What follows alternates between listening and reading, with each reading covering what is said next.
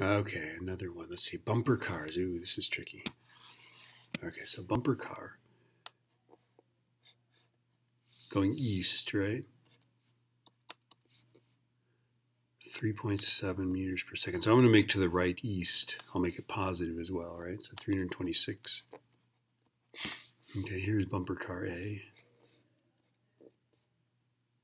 536. And this guy's going 2.4 east. So that's positive, right?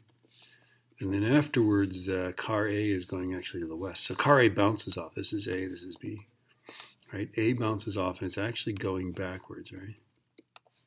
1.2 meters per second. So that'll be negative 1.2 meters per second.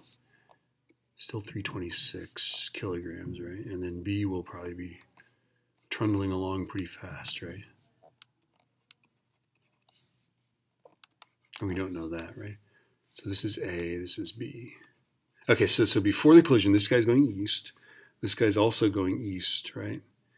326, 536, right? After the collision, A bounces off somehow, right? and ends up going backwards. So I'm going to make that a negative 1.2.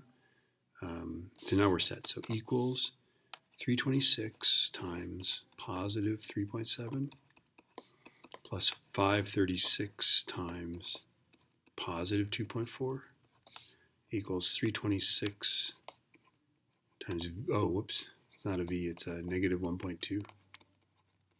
And then this guy is 536 times V. I tried to put the variable in there, but we know that velocity is negative 1.2. Okay, so here's what we do. We go 326 times 3.7 plus 536 times 2.4. And then I'm going to add this guy to it. I'm going to go plus 326 times 1.2. So bring it on the other side, I'm making it positive, right? And now I have everything that equals 536V, right? So divide by 536. And we have 5.38 meters per second.